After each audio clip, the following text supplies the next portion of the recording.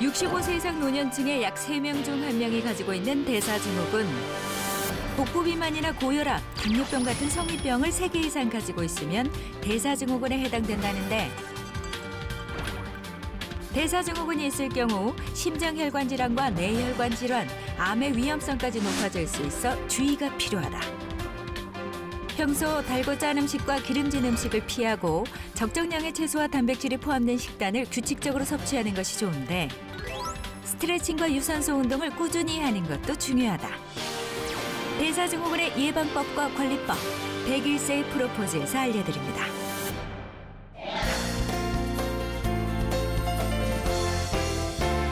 안녕하세요. 101세 프로포즈 아나운서 임수민입니다.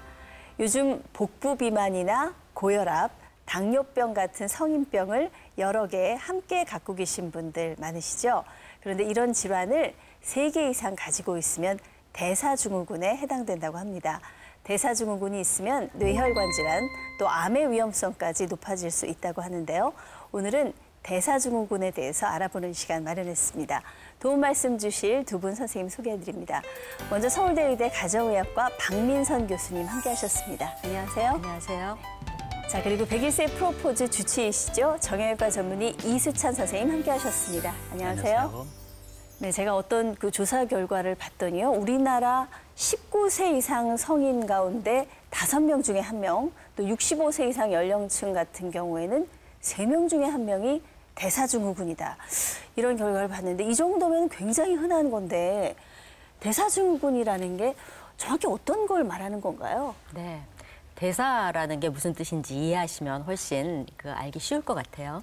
네, 대사라고 하는 거는 우리가 몸에다가 에너지원, 즉 먹는 거를 얘기하고요. 에너지원을 섭취해서 그런 것들이 장기가 잘 사용해서 생명 유지를 위해서 쓰고요. 그다음에 남은 불필요한 것들은 노폐물로 몸 바깥으로 빼내는 과정. 네. 이 과정이 대사라고 볼 수 있거든요. 근데 이 과정에 이상이 생기는 것이 바로 대사 증후군이라서 보통은 어, 지방이 많이 남아서 이상 지질혈증, 즉 어, 중성 지방이 높아진다던가 좋은 콜레스테롤 좀 떨어진다던가 아니면 혈압이 높아진다던가 혈당이 높아진다던가 하는 것들이 복부 비만과 함께 다섯 개 중에서 세 가지 이상 함께 나타나는 것을 대사 증후군이라고 합니다. 네네. 교수님이 조금 전에 이상 지질 혈증이라는 말씀을 하셨는데 네. 이상 지질 혈증이 어, 좋은 콜레스테롤 수치는 낮아지고 몸에 나쁜 지방 수치는 오히려 높아지는 이런 현상을 이야기하는데 우리가 복부 비만이나 고혈압, 당뇨, 그 이상 지질 혈증 중에 하나만 있어도 다른 질환, 나쁜 질환을 생길 가능성이 굉장히 높아지는데 이게 여러 개 있으니까 그 위험성이 굉장히 높아지겠죠. 네. 특히 이제 대사 증후군 병이 있으면 뇌나 심장에 혈관 질환이 생길 위험성도 굉장히 높다고 합니다. 실제로 그런 높아지는 수치가 어느 정도인지 궁금합니다. 네.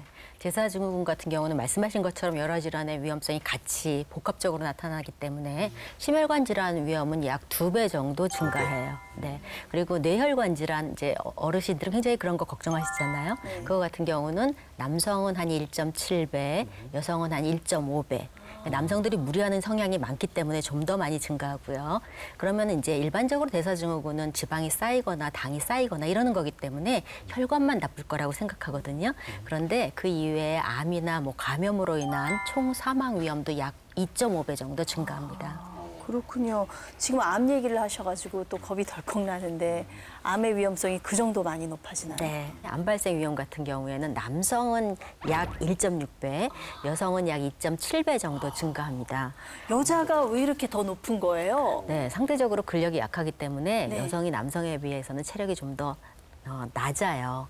네, 실제적으로 이탈리아에서 여러 가지를 분석해서 한꺼번에 내놓은 논문에 의하면 어, 남성 같은 경우에는 간암이라던가 또 대장암의 위험이 높아지고요. 네. 여성 같은 경우에는 자궁 내막암이나 아니면 폐경기 이후에 유방암의 위험이 증가하기도 하고 네. 췌장암을 높인다는 보고들이 있어요. 그렇군요. 예. 남자보다 여자가 훨씬 위험성이 더 높네요. 그렇죠. 실제로 그 고혈압, 당뇨, 그 이상 지질 혈증의 진단을 받지 않았다 하더라도 이게 혈당이나 혈압이나 어, 중성지방 수치를 딱 보고 이 기준점보다 조금 높으면 대사 증후군이라고 진단을 한다고 제가 이야기를 들었습니다. 네. 그러면 이 대사 증후군의 정확한 수치, 진단 기준은 어떻게 됩니까? 네, 이 부분이 조금 어려운데요. 예. 뭐 학회마다 조금 차이가 있어서요. 말씀하신 것처럼 고혈압이나 당뇨, 이상지질혈증이 한꺼번에 있으면 이미 진단받았으면 그런 것들이 세 개 이상 있으면 대사 증후군에 속하고요. 그렇지 않고 그 이전 단계라고 하더라도 이 수치들이 어느 정도 수준 이상이면 어, 세, 다섯 가지 기준 중에 세 가지 이상이 어, 어느 정도 수준 이상이면 대사증후군으로 진단을 하게 되겠는데요. 네. 아무래도 이제 여러 가지가 섞여 있으니까 기본적으로 한 질환의 진단 기준보다는 조금 낮은 기준을 적용을 해요. 아, 예. 그래서 우선은 복부 비만 기준을 보면 국가마다 조금 달라요. 네. 아무래도 이제 외국 사람들은 좀 더 체중이 많이 나가고 크기가 크죠. 그래서 우리나라 기준으로 보면은 어, 남성 같은 경우에는 허리둘레가 90cm 이상, 네. 여성 같은 경우에는 85cm 이상을 보는데 일반적으로 허리 둘레라 그러면은 이렇게 배꼽 둘레로 생각을 많이 하시거든요. 근데 이 경우에 허리 둘레는 어, 갈비뼈하고 그다음에 골반에 제일 이렇게 튀어나온 옆으로 튀어나온 부위 사이의 중간 부분에 속해서요.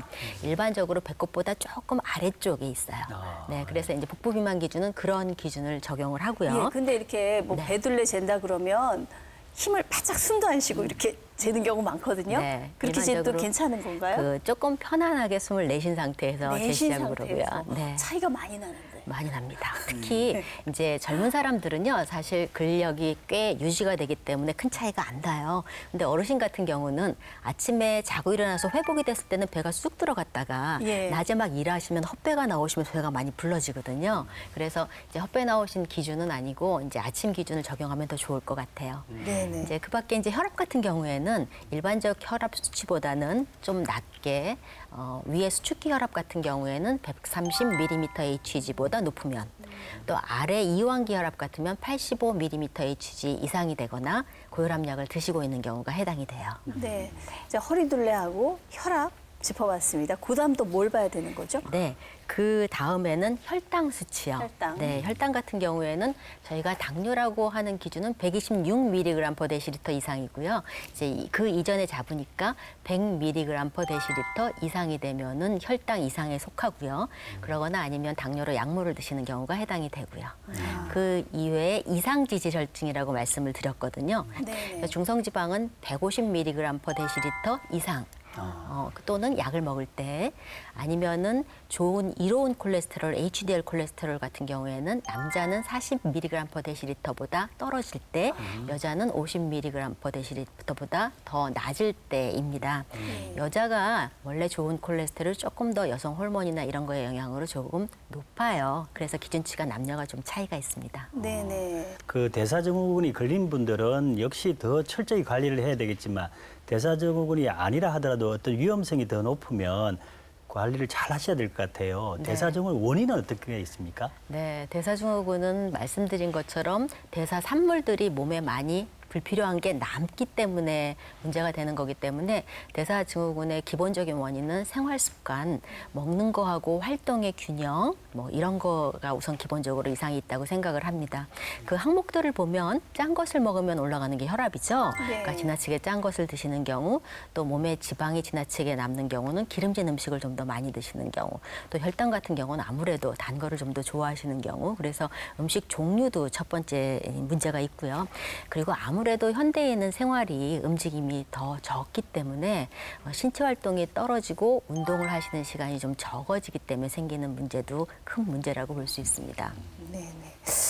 그렇군요. 이- 저는 스트레스도 이 대사증후군하고 연관이 높다는 얘기를 들었어요. 실제로 스트레스 받아도 이- 이것도 많이 영향을 미치나요? 네, 맞습니다. 사실은 체중이 어, 많지 않다고 하더라도 스트레스를 받으면 스트레스 호르몬이 나오면서 복부 비만이 증가하기도 하고요. 그리고 저희가 약간 화가 나거나 이럴 때 발동되는 그 신경계가 교감 신경계거든요. 그러면 혈관도 수축시키고 혈압도 높이게 되면서 대사증후군의 위험을 높이게 되죠. 네네. 제가 생활 습관병이 대명사거든요. 뭐 하도 잘 내지, 그래서 짠 음식 좋아하지. 야, 큰일 아니, 났네. 의사 선생님이신데 왜 그러세요? 좀 제가 조심해야 되겠네요. 대사증후군이 걸리는 사람들이 생활 습관병이 걸렸다. 제가 아까 그런 표현을 했는데 네. 그잘 관리를 해서 개선을 해야 되겠네요. 그 네. 제, 제 경우는 또 식습관이 참 중요하다는 이야기를 많이 들었는데 식습관에 대해서 좀 어떻게 관리하면 좋을지 설명 네, 부탁드립니다. 네. 이게 젊은 층과 연세 드신 층이 조금 차이가 있는 것 같아요. 이제 젊은 층은 아무래도 직업적으로 많이 앉아 있는 거, 선생님도 아무래도 이제 앉아서 하실 때 있고 또 수술하실 때 있고, 그래서 이제 일정한 활동량이 이렇게 많지 않은 상황이 되기 쉽고요. 그리고 음식은 지금 말씀드린 대로 짠 음식, 단 음식, 기름진 음식 이런 것들과 함께 어, 또 하나 중요한 포인트가 몸은 움직일 때 음식을 먹는 게 굉장히 중요한데 어, 지금 어, 젊은 친구들은 사실은 아침에 늦게 일어나서 바쁘고 그럼 아침을 거르고 그다음에 저녁에 시간이 될 때 많이 먹어서 폭식과 절식이 왔다 갔다 하게 되면서 네, 오전에 부족했다가 저녁에 것을 많이 쌓게 되면서 이런 대사증후군의 위험이 많이 증가하거든요. 그래서 그런 요인 또 잠을 좀 잘 못 자게 되면서 그런 요인들이 같이 들어가게 되고요. 연세 드신 분들은 조금 패턴이 달라서 시간들이 조금 자유롭잖아요. 그런 반면에 어, 중간에 식사 같은 거를 꼬박꼬박 챙겨 드셔야 될 필요가 조금 없어지는 거예요. 아침 예. 드시고 활동이 조금 적으니까 조금 배가 더부룩하시면 가볍게 점심 드신다거나 이렇게 식사를 조금 제대로 안 하시고 걸으시거나 식사 시간보다 조금 늦게 식사를 하시게 되면서 힘이 떨어지고 어, 움직임을 하기가 싫어지는 거죠. 그것도 그렇고 사실 어르신들뿐만 아니라 주부들 같은 경우에 네. 집에 식구들 없으면 사실 네. 제대로 밥 차려 먹는 경우 별로 없거든요. 네. 간단하게 간단하게 먹고 있으면 고구마면 뭐 고구마, 뭐 떡이면 떡 이렇게 때우는 경우가 참 많아요. 그래서 지금 어, 가장 문제가 되는 것들이 어르신들은 과일이나 떡 같은 거 이런 예. 걸로 식사하시는 거, 고구마로 식사를 하시는 거 하고요. 젊은 주부들은 바깥에서 어, 케이크라든가 무슨 그런 약간 빵과 과자류 이런 예. 거 섭취를 하고 제대로 식사를 고르게 안 하시는 거 이게 음식 종류로는 되게 큰 영향을 주고 있어요. 그리고 또 단백질 식품 섭취도 굉장히 중요하다고 그러던데. 네, 외국은 사실은 고기를 위주로 동물성 식품을 위주로 식사를 한다면 우리는 사실은 외국 입장에서 보면은 거의 채식 같은 식사를 하시거든요. 밥 위주죠. 그죠. 네. 밥국 김치요. 그래서 거기에 육류가 조금 들어가거나 아니면 생선류가 들어가서 열량을 주는 성분들이 조금 좀 들어가게 되면 또 단백질은 포만감을 주기 때문에 또 생, 생활을 하시기에 좀 각성을 하시고 잘 행동하시고 운동하시기에 도움을 주는 영향도 있어서 요즘 어르신들의 식사에서는 사실 밥을 제대로 드신다면 고기나 생선류 같은 단백질을 강화하는 게 한 답이 되겠습니다. 어, 특히 우리 어, 그 음식도 중요하지만 운동도 중요하잖아요. 네. 유산소 운동에 대해서 어떻게 생각하시는지요? 네, 아무래도 이제 유산소 운동이 심장 폐를 위한 운동이기 때문에 모든 병의 위험을 줄일, 줄일 수 있어서 중요해요. 근데 이제 연세 드신 분들은 어, 혈관이 우선 첫 번째 저희가 관리해야 될 거기 때문에 아침에 일어나서 어, 가볍게 스트레칭을 조금 하시고 그 다음에 식사를 하시고 난 다음에 유산소 운동에 해당하는 걷기, 달리기, 뭐 수영이라던가 이제 어, 자신의 이 취향에 맞는 그런 운동을 조금 아, 가볍게 하시고 점심 식사하시고 저녁 이후에 이제 주무시기 전에 스트레칭을 조금 하신다던가 이렇게 하시면 좋을 것 같고요. 그 다음에 시간 여력이 되시면 근력 운동을 하시면 좋겠습니다. 네. 오늘은 대사증후군에 대한 얘기를 나누고 있습니다. 어, 그런데 우리가 보통 그 뭐 허리둘레를 줄여라, 또 체중을 줄여라 이렇게 얘기하면은 식사량을 줄인단 말이에요. 그런데 이렇게 노후에 식사량을 막 줄이면 건강에 좀 안 좋지 않을까요? 네, 맞습니다. 저희 많이들 얘기하시는 게 배가 나와서 밥을 줄였다 얘기를 하세요. 네. 또 하나가 어, 탄수화물이 나쁘다 그래서 밥을 줄였다 하실 때가 있어요. 제 주변에도 많아요. 네. 사실 밥을 끼니당 반 공기 아래로 줄이면 몸은 어, 근육을 연료로 빼서 쓰게 돼요. 어, 그래서 운동을 했었어도 어, 그거 염증 생, 그 운동에 의해서 염증이 좀 생기거든요. 그거를 고치는데 먹지를 않으면 식사량이 너무 적으면 몸속에 있는 근육을 끌어냈습니다. 근육에 있는 단백질하고 뼈에 있는 칼슘을 빼서 치료를 해요. 그래서 저희가 어, 끼니마다 드시는 식사량을 적어도 반 공기 이상 어느 정도 활동이 있으시면 3분의 2 공기 정도는 꼭 유지하시라고 그러고요. 근육이 빠지게 되면 그냥 힘이 없어지기 때문에 그 다음에 운동을 하셨어도 가만히 오후에 지내시는 시간이 길어지면서 지방이 늘게 되고 대사증후군의 위험이 증가하게 돼요. 네. 탄수화물을 어느 정도는 드셔야 네, 네. 건강을 유지한다는 이야기를 하는데 문제는 어르신들이 식사를 하고 나서 또 간식으로 음, 뭐 빵, 떡, 옥수수, 뭐 고구마 이런 걸 드시니까 그게 문제가 그게 되는 거죠. 보통 밥량을 줄이고 나면 아 나 밥은 조금 먹었어 음. 하면서 안심하면서 그렇게 간식에 또 손이 가더라고요. 아니 예. 유수미 아나운서가 제일 잘 드시는 것 같아요. 그렇게. 그것도 있고요. 네. 밥량은 줄이는 반면에 운동은 또 하시려고 그러시는 게 있어요. 소식하고 운동하려고. 그러면 몸속에는 지방은 꽤 많이 있어요. 그럼 움직이기만 하면 쓸 수 있습니다. 반면에 당은 한 반나절 쓸 거를 간에다 저장하고 있어요. 그래서 당만 자꾸 떨어지게 되기 때문에 환자들이 자꾸 어, 단 거를 자꾸 찾게 되세요. 네. 그렇게 되면서 그런 그 중간 간식이 자꾸 늘게 됩니다. 그럼 살은 언제 빼나요? 이게 아무리 운동을 웬만큼 해도 먹는 걸 줄이지 않으면 안 빠지는 것 같은데요. 네, 그거는 맞는데요. 네. 어르신 같은 경우는요, 아침, 점심에 식사를 조금 적게 드시면, 어, 장기가 이미 조금 노화해 있기 때문에 몸이 작고 의욕이 없어지고 가만히 있는 시간이 늘면서 살이 찌는 거거든요. 그래서 밥을 줄이기보다는 중간 간식이라든가 그런 것들을 조금 절제하시는 게 필요하겠습니다. 네. 자, 오늘은 대사증후군에 대한 얘기를 나누고 있습니다. 이 밖에도 궁금한 점들 많으실 텐데요. 오늘도 친절한 진료실 시간 준비했습니다. 질문 먼저 보시죠. 첫 번째 질문입니다. 혈압과 혈당은 집에서도 꾸준히 확인하는 것이 좋다고 하던데 이때 주의할 점은 없는지 궁금해하시는 분들 많았습니다. 다음으로 생선에 함유된 기름은 혈관 건강을 지키는 데 도움이 된다고 하던데 그렇다면 많이 먹어도 괜찮은 것인지 질문 주신 분들 계셨습니다. 마지막으로 우유를 마시면 몸속에 있는 나트륨을 배출하는 데 도움이 된다고 하던데 실제로 도움이 되는지 궁금해하시는 분들 계셨습니다. 네, 질문 하나씩 살펴볼게요. 우유가 나트륨을 배출하는데 도움이 되는지 질문 주신 분 계셨는데 어, 실제로 우유가 나트륨 배출에 도움을 줍니까? 네, 맞습니다. 어, 우유에 있는 칼륨 성분이요. 나트륨을 어, 몸 바깥으로 빼내는 그런 작용을 하기 때문에 나트륨을 줄이는 데 도움이 되고요. 또 칼슘 성분은 혈압을 낮추는 데도 도움이 되고 장에서 지방산 흡수를 줄이는 데도 도움이 돼요. 그리고 우유에 있는 유 단백들이 또 포만감을 주기 때문에 비만을 예방하는 데도 도움이 돼서 우유는 전반적으로 이 대사증후군을 완화하는 데 도움이 되겠는데요. 문제는 어, 지방이 많은 그냥 어, 저지방 우유가 아닌 일반 우유를 많이 드시게 되는 경우에는 열량이 높기 때문에 마찬가지로 비만을 초래할 수 있어서 문제가 됩니다. 우유 이외에 사실은 칼륨이 높은 게 채소 성분이거든요. 네. 채소 같은 경우도 어, 칼륨이 많아서 나트륨 배설을 좁기도 하고 돕기도 하고 어, 또한 면에서는 그 자체가 섬유질도 많기 때문에 뭐 지방을 어, 흡수를 막는 그런 역할도 하겠습니다. 네. 그래서 어, 하루에 어, 작은 그릇 하나 정도 끼니마다 이제 찻잔 정도에 해당하는 그런 어, 채소류를 어, 다른 음식과 같이 반찬으로 섭취하시는 게 좋겠습니다. 사실은 우유하고 채소가 뼈 관절에도 아주 좋은 효과를 하기 때문에 많이 드시라고 권하는데 보통은 잘 챙겨 드시라 그러면 어, 잘 챙겨 드시는 것까지는 좋은데 너무 많이 드시는 게 또 문제가 될 것 같습니다. 그래서 식품으로도 드시고 또 영양제도 또 많이 드시니까 그러면 어떤 문제가 생기냐면 혈중에 칼륨 농도가 높아집니다. 그럼 칼륨이 높아지면 우리가 심장병 중에 삼대 질환 중에 부정맥, 아, 심장이 불규칙하게 예, 예. 뛰게 되면 그게 어, 나중에 위험하게 되겠죠. 그래서 어, 우유나 채소를 너무 과하게 드시지는 말아달라고 말씀을 드리는데 그럼 어느 정도 드셔야 되느냐?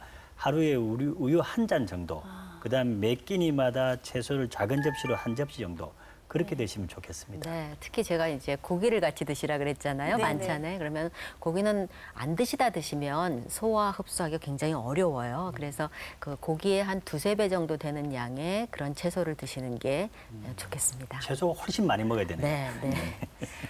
아무튼 뭐든지 과하면 좋지 않은 것 같습니다. 예, 그리고 어류 기름은 많이 먹어도 괜찮은 건지 질문 주신 분들이 계신데 보통 등푸른 생선 많이 드시라는 얘기 하는데 이것도 많이 먹으면 안 되나요? 네, 오메가3 지방산이 네. 혈관 질환이 좋다 그래서 그런 얘기를 하는데요.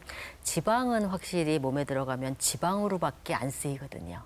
어, 탄수화물은 많았을 때만 지방으로 되는데 지방은 무조건 지방이 돼요. 그래서 움직여서 빼쓰지 않으면 안 없어지기 때문에 그래서 생선을 드시더라도 이제 끼니당 한 토막 정도 그 정도 이상이 안 됐으면 좋겠고 또 오일로 따로 드시는 분들도 있어요. 올리브유나 이런 것들을 그런 것들을 어, 많아야 하루에 작은 스푼으로 한 한두 스푼 정도지 그거를 따로 이렇게 마시시거나 그러시면 사실은 저희가 콜레스테롤이 높으면은 오메가 3나 오메가 6 지방산이 좋다 그래서 들기름 그런 거를 드시는 분들도 있거든요. 네. 근데 밥 숟가락으로 그거 몇 개 드시면 콜레스테롤이 한 200까지도 올라가요. 자기 원래 수치에. 그래서 열량이 높다는 거는 간과하시지 말았으면 좋겠습니다. 예. 저는 참기름이나 들기름 이런 건 괜찮은 줄 알았어요. 많이 먹어도. 근데 이것도 어, 많이 먹으면 어차, 지방이기 때문에 열량이 있다는 거 기억하셔야 되겠습니다. 네. 어, 저도 그러는데 어, 요즘은 혈압이나 혈당을 집에서 수시로 체크하는 분들이 있어요. 이렇게 집에서 이렇게 체크할 때에 혹시 주의점이 없는지 궁금해하십니다. 네, 이제 혈압계 자체의 두께가 체중이 많이 나가시면 좀 더 큰 거, 적게 나가시면은 좀더 작은 거를 하셔야 어, 그 정확한 수치를 알 수 있고요. 그리고 이 높이가 혈압계의 높이가 자기 심장 정도 되게 재시는 게 우선 필요하고 그리고 이제 막 다니시다가도 한 적어도 가만히 있다가는 5분 정도 편안하게 계셔야 되고 막 다녀오신 데에는 한 20분 정도 조금 안정하시다가 재시는 게 중요해요. 그러시고 잘 모르시고 계시는 것 중에 하나가 등을 기대고 혈압을 재셔야 돼요. 아. 어, 팔을 넣고 등을 의자에 기대고 재셔야 됩니다. 그래서 이거를 그렇게 하지 않으면 좀 더 높게 나오기 때문에요. 어, 그거를 맞춰서 좀 잘 재셨으면 좋겠고요. 일반적으로 아침 혈압이나 아니면 주무시기 전에 혈압 이렇게 비교를 보통 많이 하거든요. 그래서 그렇게 한번 체크해 보시면 좋을 것 같습니다. 아, 그래서 제가 혈압이 자꾸 높게 나오는지 모르겠어요. 이렇게 자꾸 저도 그랬어요. 보통 이렇게 해요. 혈압 잴때 이렇게 하는 보통 팔을 없어요. 집어넣는 데다 이렇게 몸을 앞으로 그렇죠. 네. 수그리고 재는 경우가 많은데 약간 이렇게 기댄 상태에서 편안하게 재는 게 중요하다는 예, 그 참고하시고요. 그럼 혈당 측정할 때도 저희가 뭐 조심할 게 있나요? 네, 혈당은 아무래도 손을 아래로 놓으시고 어, 피를 뽑으셔야 되는 게 있고요. 이게 모세혈관이기 때문에 혈액이 아무래도 적어서요. 그리고 이제 혈당을 측정하시면 어, 병원에서 측정하신 혈당과 차이가 있다고 얘기하시는 분들이 꽤 있어요. 예. 근데 이제 집에서 재시는 건 모세혈관 혈액이고요. 그다음에 병원에서 재는 혈관, 혈액은 정맥혈이라서 차이가 원래 나요. 네. 그러니까 집게, 집에 거와 한10 정도 차이가 난다고 생각을 하시면 옳을 것 같은데 기계마다 조금 달라서 10이 낮게 나오는 것도 있고 높게 나오는 것도 있고 그래서 그렇게 어, 판단을 하시면 좋을 것 같습니다. 네, 네. 자, 오늘 저희가 대사증후군과 관련해서 알아봤는데 마지막으로 어떤 걸 좀 저희가 기억해 두면 좋을까요? 네, 대사증후군은 사실 몸의 체력이 떨어지면서 모든 대사와 관련된 것들이 한꺼번에 문제를 일으키는 거거든요. 그 연세 드신 분들은 당연히 혈액이 나쁘기 때문에 그럴 수 있는 소지가 좀 더 높아지고요. 요즘은 젊은 층들도 생활이 굉장히 불규칙해지면서 어, 대사증후군의 위험이 높고 있어 높아지고 있어서 이제 손자 손녀분이랑 같이 뭐 모든 생활 습관 같은 것들을 한번 검토해 보시면서 같이 조절을 해 나가시면 좋을 것 같습니다. 네, 대사증후군이 뇌혈관 질환이나 또 심장혈관 질환, 또 암의 위험성까지 높일 수 있다는 거 기억하셔서요. 꾸준한 운동과 건강한 식습관으로 대사증후군 예방하시고 또 잘 관리하시기 바랍니다. 함께해 주신 여러분 감사합니다. 저희는 다음 시간에 더 건강한 모습으로 찾아뵙겠습니다.